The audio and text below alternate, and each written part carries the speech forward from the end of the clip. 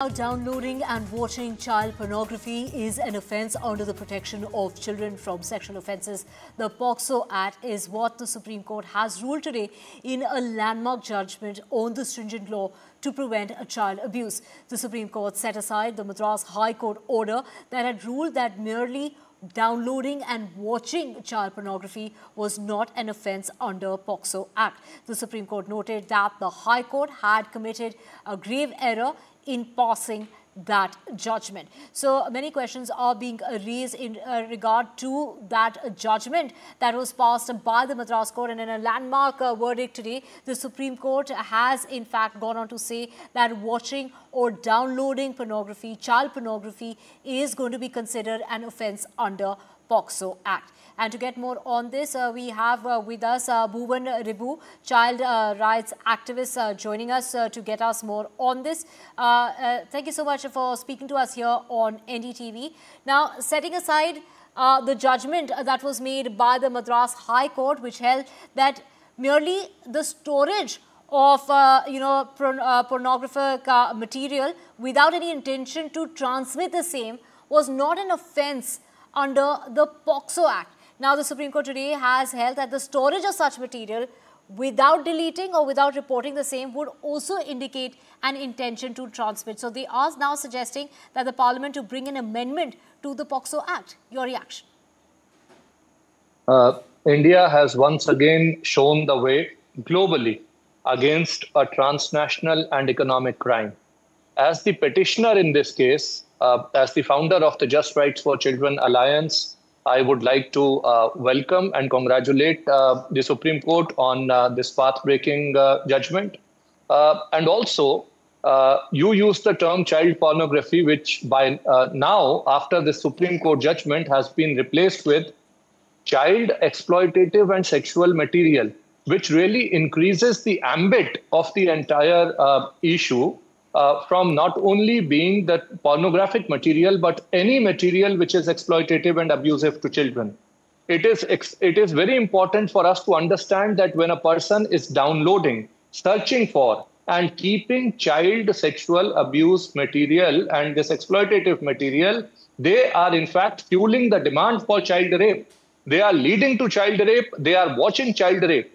And that itself uh, is not only condemnable, but now it is a crime. This is a landmark judgment that also paves the way for prevention by putting together the framework for school education, by ensuring that the government responds with the uh, proper legal changes, and it directs all the courts uh, across India to start uh, uh changing the, uh, uh, this entire narrative. It has shifted the narrative from pornography, which is often considered as a uh, an adult indulgence, it has shifted that narrative to a crime, which is uh, child exploitative and abuse material. So uh, this is uh, uh, a landmark welcome judgment. It is for the first time globally that uh, this has happened and the Supreme Court has laid this framework. Secondly, the Supreme Court has said that any person, any intermediary, whether it is Facebook, Meta, Twitter, Instagram, any other social media company, if they come across any uh, child abuse and exploitative material, they are mandated now in India to report it to Indian authorities immediately. This by itself will be a game changer for the protection of uh, uh, children from uh, uh, online as well as offline abuse. Because at the end of the day, when somebody is actually fueling this demand, some child is being raped. And uh, that uh, changes because when you curtail the demand, you are in fact paving the way for uh, the prevention of the crime and the protection of the child. So it is a, a very welcome judgment. Right. Uh, we also have Khushbu Jain, advocate, uh, joining us uh, on the broadcast. Uh, thank you for speaking with us here on NDTV. Now, the Supreme Court is considering a petition challenging a similar judgment uh, passed by the Kerala High Court as well. And now, when we talk about the Madras High Court order, uh, of course, you know, in which what really was said at the time was that merely the storage of child pornographic content without any intention to transmit the same was not an offence under the POCSO Act. That's something that the Supreme Court today has has uh, gone on to say that this is indicative of the intention to transmit. Absolutely. See, it's it's a it's an it's an uh, it's an, a welcome move by the by the court by the Supreme Court because when you're keeping certain certain uh, uh, material in your phone that can be either to watch or to share, and when you talk about material which is child sexually exploitative abuse material or a CSAM material for that matter, these are very sensitive issues. These are very sensitive content, and if you keep that material that itself and if you're not reporting that itself is one of the big things big crime that is happening. Because see one has to understand i'm going away from from the uh, from the uh, uh, uh, the court language and saying that there is a demand and supply that understands. More the demand more the supply. So when we talk about such kinds of things happening that means there is a demand there would be demand and there would be more demand there would be more supply. And these are heinous offenses absolute heinous offenses where there is child sexually abused material or exploitative material which is there which is being utilized and it can have a borderline psychological impact on person who's watching or he's affected or even for kids whose these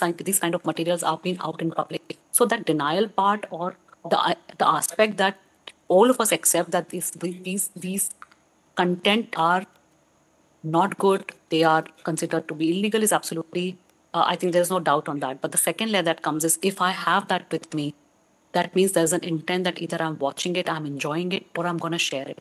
And that itself should be punished because because we're talking about something very sensitive when it comes to our society. And if we don't take strict action right now, this will still infiltrate and this will continue to happen despite having laws in place. That's where we have to bring a stop that whether you download, you create, you watch, you share, everything is punishable when it comes to uh, uh, CSAM or CSEM uh, uh, kind of material. And I think that's a that's a that's a move which was which is welcome and that understanding. I was shocked with the Madras High Court only to an aspect uh, uh, which I can bring in over here is see we are living in a technology age and we have systems in place where let's say for example I have a WhatsApp and there are a lot of data which by default gets downloaded and we are part of a lot of groups. So if some material gets downloaded and stays in my phone that itself per se should not have it. But if i have a knowledge that that is downloaded and i have not complained or reported that that crime has happened from this group and it has come from this group is where uh, the, the question should arise but not the part where something has been downloaded. Because we are in that age where we are in infodemic age and information is sharing everywhere and things can be downloaded on your phone without your knowledge or intention for that matter. So i think that's where we draw that thin line or i have that uh, that aspect that one can have a leeway. But otherwise i think all of us should stand together against fighting against this this kind of crimes happening uh, not for just uh, uh, uh looking into the uh, looking into the seriousness of it but also to understand that this has ramifications which is beyond our imaginations Right, uh, Khushbu, also the Supreme uh, Court. I uh, would uh, I would like to add one thing that right. Uh, the Supreme Court has actually laid down today that intention is immaterial uh, on one. And the second thing that the Supreme Court has laid down is that there is a framework of action that the police really does not know that who's storing what by mistake. This is the framework where the government is actually receiving intelligence which is actionable in terms of IP addresses of the people who are uh, actively searching for uh, this material online and then downloading. And for them, uh, there is no question that uh, whether there was an intention, and they have broken it down into three parts. They have said that uh, intention itself is sufficient. So, as long as you have the material, you are not uh, reporting it to the concerned authorities, you should be treated as being guilty. Right, uh, knowingly watching uh, child pornography over the internet without downloading amounts to possession under the POCSO Act. Uh, Khushbu, uh, the Supreme Court today has gone on to say, which, uh, uh, you know, Bhuwan also pointed out, uh, that the term child pornography should not be used in any judicial order or judgment. And instead, the term child sexual exploitative and abuse material should be endorsed. Take us through the difference.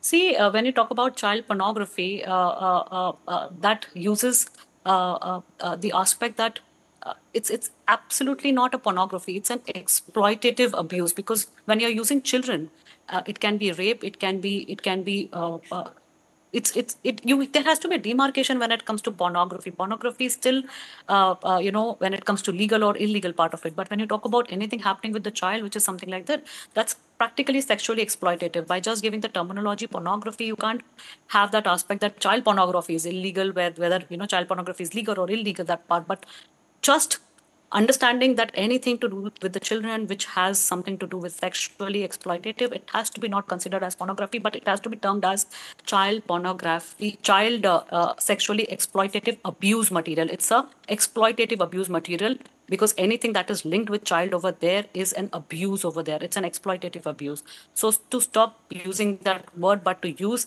CSEAM that is child sexually exploitative abuse material is the word that has to be utilized from now on rather than child pornography in any of the places, including your POCSO Act or IT, IT Act and laws and rules thereunder. Right, uh, and the Supreme Court has uh, gone on to say that uh, they are suggesting to the Parliament to bring an amendment when it comes to the POCSO Act so that uh, child pornography can be referred to as child sexual abusive and exploitative material. We have also suggested an ordinance that can be brought in is what was said in the Supreme Court. Thank you so much for joining us on the broadcast.